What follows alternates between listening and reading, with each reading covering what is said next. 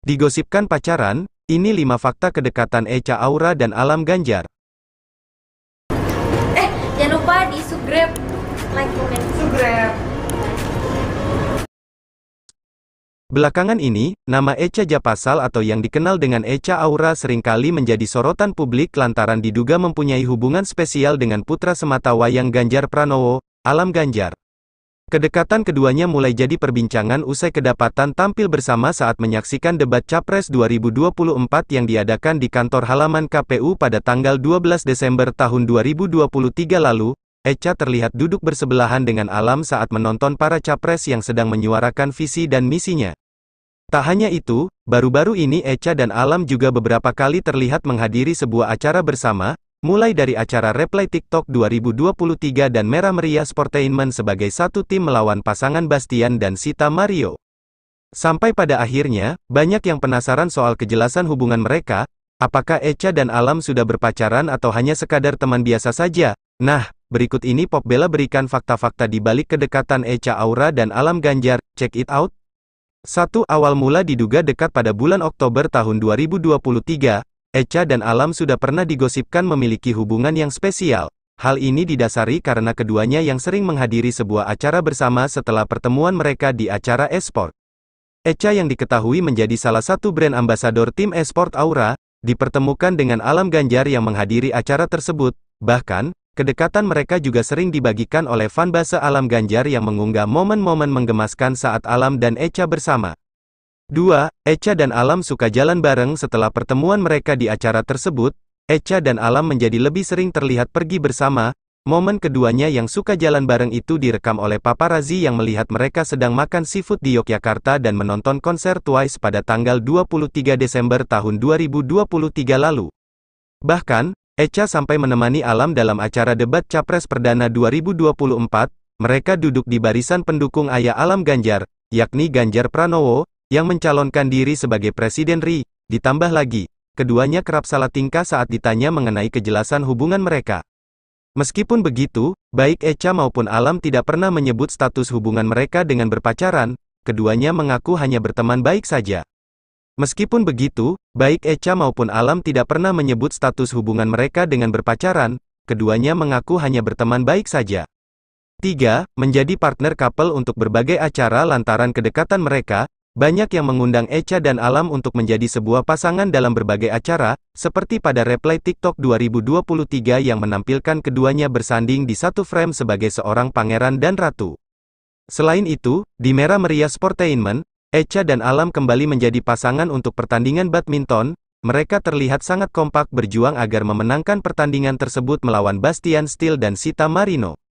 4. Kriteria pendamping hidup Echa dan Alam Echa mengaku memiliki kriteria idaman untuk laki-laki yang akan menjadi pendamping hidupnya. Dara kelahiran tanggal 14 November tahun 2001 ini menjelaskan bahwa dirinya menginginkan lelaki yang bertanggung jawab, satu agama, dan pastinya direstui oleh kedua orang tuanya.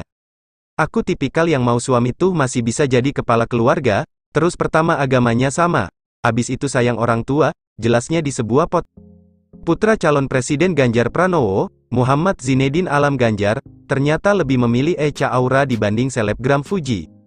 Pernyataan itu dilontarkan Alam Ganjar ketika ditanya oleh seorang TikToker Andrew Stifler dengan akun @notiourmaterialboyfriend pada Sabtu, tanggal 20 Januari tahun 2024. Mulanya, Andrew bertanya banyak hal kepada Alam Ganjar hingga pada akhirnya muncul pertanyaan untuk memilih antara Echa atau Fuji. Echa atau Fuji, tanya Andrew, membuat Alam Ganjar sedikit terkejut. Namun tanpa pikir panjang, Alam Ganjar langsung memilih perempuan bernama Elsa Japasal itu.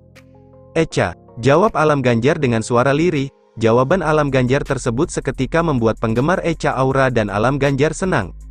Nggak pakai mikir langsung, jawab, Echa, ujar Ed Grand Asteris Asteris. Eh, Mas Jawa ini bisa aja, jawab Echa-nya kali ini lebih cepat, kata Ed Nana Asteris Asteris Asteris. Emang boleh seeca itu Mas Wakakak ya, canda Ed Putri Asteris Asteris Asteris. Ini bukan pertama kalinya Alam Ganjar secara terang-terangan memilih Echa Aura dibanding perempuan lain. Pada awal Januari tahun 2024 lalu, Alam Ganjar pernah diminta untuk memilih Echa atau mantannya, Anggita Ayu. Ini pertanyaan yang harus dijawab cepat ya. Echa Aura atau Anggita Ayu? Tanya Abraham Silaban, dikutip dari tayangan official iNews. Alam Ganjar sedikit terkejut, tetapi langsung menjawab, Echa Aura. Putra calon Presiden Ganjar Pranowo, Muhammad Zinedine Alam Ganjar tengah mendapat sorotan publik. Selain wajah tampannya juga karena sikapnya yang terlihat sederhana dan kekinian. Terbaru, Alam Ganjar menjadi sorotan saat menggendong seorang bayi. Anak tersebut pun terlihat nyaman di pelukan mahasiswa UGM tersebut. Video itu terlihat dalam sebuah unggahan akun TikTok @masalamganjar. Dalam video itu terlihat Alam Ganjar menggendong bayi di sebuah ruangan. Tak ada penjelasan yang jelas, Bayi tersebut merupakan anak siapa, namun anak itu terlihat nyaman di pelukannya. LUCUUUU si dede aja nyaman sama Mas ALAMM, tulis admin akun tersebut dikutip pada Kamis tanggal 18 Januari tahun 2024. Melihat hal itu, publik pun langsung memberikan beragam komentar.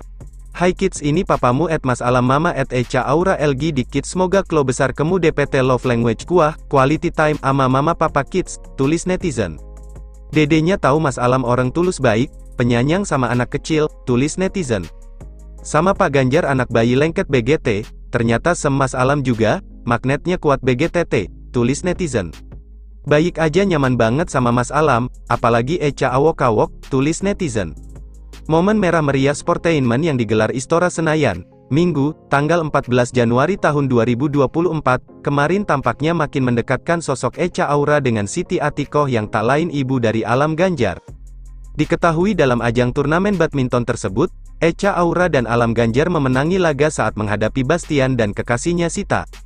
Kemenangan itu pun disambut antusias Siti Atikoh yang datang menyaksikan keduanya berlaga. Seusai laga sejumlah potret kebersamaan antara Echa Aura dengan Siti Atikoh pun bertebaran, bahkan di akun Instagram Siti Atikoh pun tampak keakraban Echa Aura bersama dirinya dan Alam Ganjar. Unggahan itu pun membuat baper para netizen. Beragam komentar kocak pun bermunculan.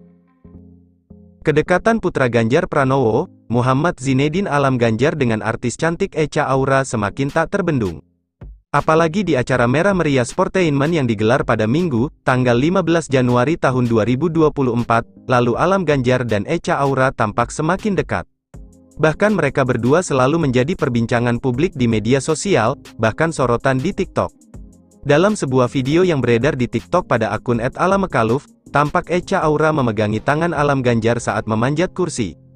Ekspresi Echa Aura pun terlihat bukanlah settingan atau dibuat-buat, ia tampak cemas melihat Alam memanjat kursi tersebut. Sontak saja publik langsung memberikan respon beragam, mereka memberikan komentar beragam soal hubungan Alam Ganjar dengan Echa Aura. Yang Alam cosplay jadi Spiderman gemes banget woe, tulis netizen. Lucu banget yang pas bagian Mas Alam cosplay jadi Spiderman ngeliat Echa geleng kepala langsung berdiri Mas Alamnya, tulis netizen. Alam dipegang tangannya JG Gada reaksi kaget ya, berarti udah sering ya lem, tulis netizen. Vibes-nya kiak sepasang pengantin baru di rumah terus alam betulin lampu yang lagi mati di bawahnya ada Echa yang megangin alam biar gak jatuh, tulis netizen, pantes menang, Wong Mas Alam udah disuntik vitamin banyak banget dokter Echa sebelum tanding, tulis netizen.